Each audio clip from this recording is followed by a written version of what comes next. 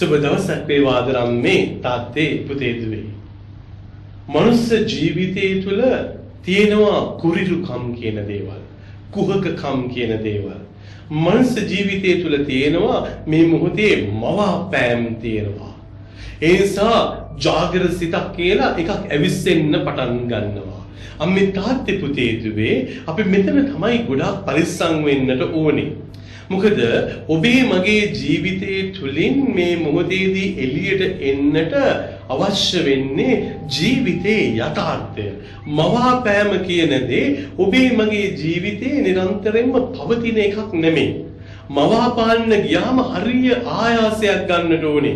වෙස්මුණක් දාගෙන ජීවත් වෙන්න ගියාම මොන තරම් දුකක් විඳින්න ඕනද? ඇයි හැම වෙලාවෙම බයයි. හැම වෙලාවෙම මගේ මේ ඇත්ත පුද්ගලයා එළියට එයි කියලා බයයි. ඒ නිසා මේ මවාගත්ත කෙනෙක් බවට පත් වෙනවා. ආශ්‍රය කරන්නේ වගේ, කතා බහ කරන්නේ වගේ, ගමන් බිමන් යන්නේ වගේ. ඒ නිසා මේ තමා තුළ නැති දෙයක් බොරුවට තියෙනවයි කියලා මේ මොහොතේදී ලෝකයා අතරට දෙන්න හදනවා. ඒ නිසා තමයි අම්මේ තාත්තේ පුතේ දුවේ වැරදි සිදුවිච්ච මොහොතවල් ගැන මෙනෙහි කරලා බැලුවොත් වැඩියෙන්ම වැරදි සිදු වෙලා තියෙන්නේ මේ මොහොතේදී යථාර්ථයේ යථාර්ථවාදීව තීරුමාර්ථ මොහොතකට වඩා මවාපාමින් මේ මවාපාපු දේ තුල මේ මොහොතේදී ප්‍රකාශ කරන්න හදපු ආකාරයයි. ඒ නිසා තමයි අම්මේ තාත්තේ පුතේ දුවේ ගොඩාක් අයගේ ජීවිතවල ඇද වැටුනේ කවදද කියලා ඇහුවොත් කාර්ය මවාපාපු දවස. තමාට පුළුවන් දෙයක් තියෙනවා. ඒ තමාට කරන්න වගකීමෙන් යුතුව පැවරිච්ච දෙයක් තියෙනවා. තමාගේ ස්වභාවයක් තියෙනවා. තමාට ආවේනික ජීවිත ක්‍රමවේදයක් තියෙනවා. මේවා එකක්වත් තකන්නේ නැත්තම් මේ මොහොතේදී අනේ මගේ ජීවිතය තුළ නැති දේ මෙන්න ඉදිරිපත් කරන්න පටන් ගන්නවා. ඒකට සල්ලි වේදම් කරන්නට ඕන වෙනවා. ඒකට සාද පවත්වන්නට ඕන වෙනවා. ඒකට ට්‍රිප්ස් ඕන වෙනවා. ඒකට මියුසිකල් ෂෝස් ඕන වෙනවා. ඒකට ඩාන්සින් ක්ලබ්ස් ඕන වෙනවා. ඒකට නයිට් ක්ලබ්ස් ඕන වෙනවා. ඒකට අන්වෝන්ටඩ් රිලේෂන්ෂිප්ස් ඕන වෙනවා. ගොඩක් දේවල් ඕන වෙනවා. මොනව කරන්නද?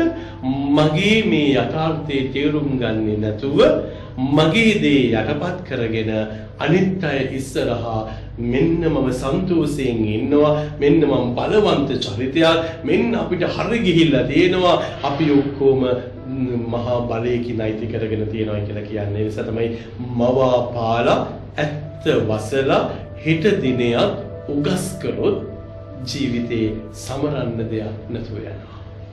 දන්නේම නැතුව මේ කාල පරිච්ඡේදයේ දකින්නේ ඒකයි අම්මේ තාත්තේ පුතේ දුවේ. ගමක ඉන්න අර පුංචි පවුලකට මවාපාපු ජීවිත ක්‍රමවේදයක් නැහැ.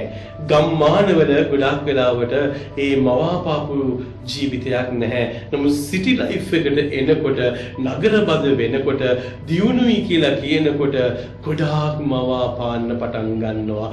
ආදරේ පවා මවාපාන්න පටන් ගන්නවා. සමහර අය කියනවා මන්ට මාත් එක්ක අරයා යාළුයිනේ එයාත් මගෙන් ඇහුවනේ. ඉතින් දැන් මේ ගොඩාක් දේවල් මේ මොහොත වෙනකොට ඩිමාන්ඩ් එකක් ක්‍රියේට් කරගන්න මේ මොහොතේදී ඇති දේ නැති දේ ගොතලා හදලා කියන්න පටන් ගන්නවා.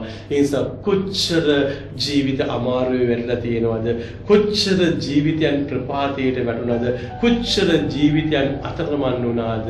ඇයි ජීවිතයේ අන්තිමට තේරුම් ගන්නකොට මේක නෙමෙයි ඇත්ත.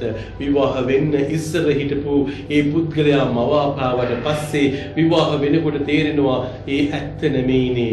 මෙයාගේ ආර්ථිකයේ ඇත්තකුත් නැහැ. ඔහුගේ රස්සාවේ ඇත්තකුත් නැහැ. නැහැ. ඔහුගේ වගතුගවල අත්‍යකුත් නැහැ. ගොඩාක් දේවල් බොරු විතරයි කරලා තියෙන්නේ. ඒ නිසා මේ තාත්තේ පුතේ දුවේ ඔබට මට ඊටමත් වගකීමෙන් යුතුව ජීවත් වෙන්න තියෙනවා. ඒ නිසා ඔබත් මමත් මවාපාන එක අපි අතහරිමු. යථාර්ථවාදීව ජීවත් වෙන්න පටන් ගනිමු. බොරුවට අනිත් කෙනාව සන්තෝෂයට පත් කරන්න අපි මේ මොහොතේදී විනාශ නොවෙමු. ඒ නිසා මේ තාත්ති පුතේ දිවේ මවා පාන්න පටන් ගත්ත අය අනිත් කෙනා වෙනුවෙන් තමයි ගොඩක් වැරදි කරේ. අනිත් කෙනාගේ ජීවිතේට ඉම්ප්‍රෙෂන් එකක් දෙන්න තමයි ගොඩක් වැරදි කරේ. ඒ නිසා ඔබේ මගේ ජීවිතය තුළ අයිති කරගනිමු ස්වාමිනී මට දෙන්න ශක්තිය මට දෙන්න බලය මට දෙන්න දේවිකත්වය කිසිම දවසක මවාපාන්නේ නැතුව ජීවිත යථාර්ථයේ තේරුම් අරගෙන ජීවත් වෙන්න ඔබ සියලු දෙනාටම ජේසු පිහිටයි.